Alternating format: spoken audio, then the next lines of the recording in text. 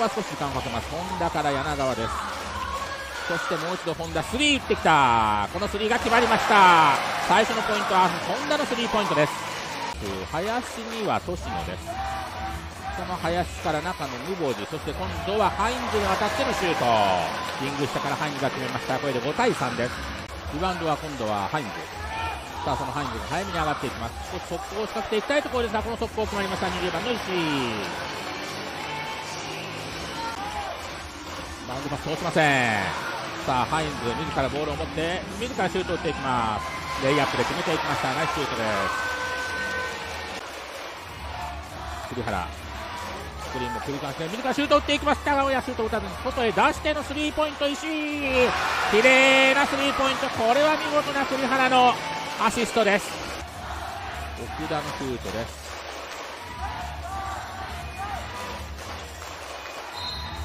笛が鳴りました。バスケットカウント。そして藤高。外でハインズ。中へ入っていきましてのシュートファール。このポイントが決まりました。バスケットカウントです。いきます。星野シュート。リバウンドは奈良です。ジャクソンロングパス林が待っていました。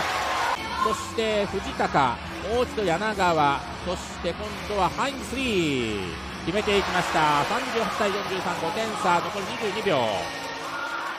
リバウンドは今度は奈良が抑えて林です。中で待っていましたのはムボジのシュート。笛が鳴りました。バスケットカウント。の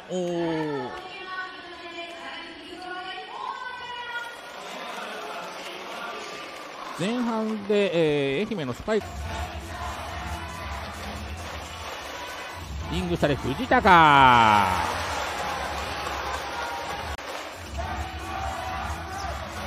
さあ自らの息子に最後はムボジに渡ってシングルハンド。これは決めていきましたムボジです。速攻で上がっていきたいところ、うん、バウンドパス長時化してましたがずっとムボジが入ってきました。これはいい形。中に入ります。ハインズ決まりました。バスケットカウントです。18再び7点差まで詰めてハインズのフリースローです。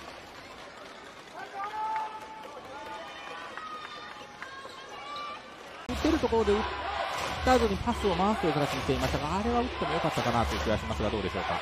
さあフェルプスがまた強引ですが今度はムボジが抑え込んだ。しかし今度はハインズスリー返しました。これで分かりません。このハインズのスリーも大きなポイント。